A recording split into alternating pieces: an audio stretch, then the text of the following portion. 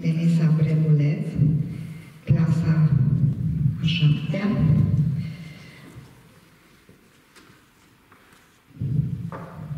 Va interpreta cantoarea din frumoasa din.